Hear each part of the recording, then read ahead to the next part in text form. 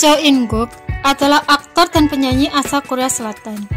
Ia memulai karir sebagai penyanyi setelah memenangkan acara reality Bakat Superstar pada tahun 2009 dan membuat terobosan aktingnya di Love Rain. Sukses jadi aktor, Seo In Guk tidak mendapatkan kemewahan secara cuma-cuma. Ia berjuang untuk melambungkan namanya di dunia hiburan. Ia sebenarnya dibesarkan di keluarga yang kurang berkecukupan Sang ibu bekerja sebagai pengumpul daur ulang sementara ayahnya seorang tukang las. Seo In Guk memandang ibunya sebagai sosok panutan karena bakti dan rasa terima kasih kepada sang ibu. Seo In Guk dilaporkan menghadiahi ibunya dengan kafe Nataurai yang sekarang sudah tutup. Sebuah kedai kopi yang terletak di kota asal mereka. Seo In Guk juga membuka Sojin Dam Ulsan, sebuah restoran yang dikelola oleh adiknya. Perjuangan Soingguk tak berjalan mulus. Ia selalu ditolak oleh berbagai agensi karena masalah berat badan.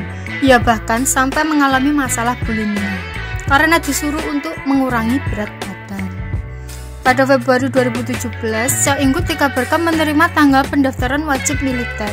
Namun, pada akhirnya ia dibebaskan dari program tersebut Usai empat hari masuk militer, ia mengalami patah pergelangan kaki dan diagnosis mengidap cedera tulang rawan. Tak banyak informasi tentang hubungan asmara Seo In Guk.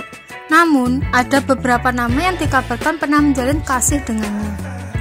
Pak Borang adalah penyanyi Korea dan peserta Superstar Cup.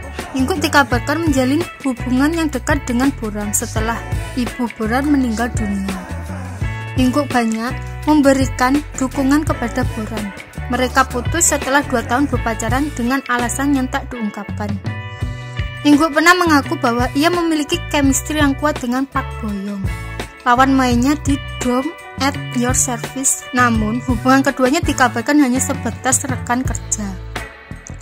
Di balik nama besarnya sebagai artis Korea, ia adalah seseorang yang bekerja keras sehingga berhasil mencapai posisi seperti sekarang. Soengkuk dikabarkan sedang mempertimbangkan bergabung di drama baru bareng Pak Sodam bertajuk Dead Games atau judul sementara.